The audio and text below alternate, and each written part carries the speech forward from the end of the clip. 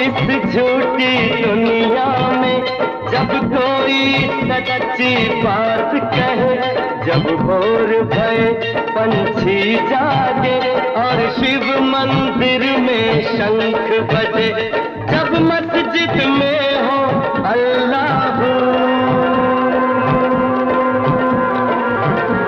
तो दिल है।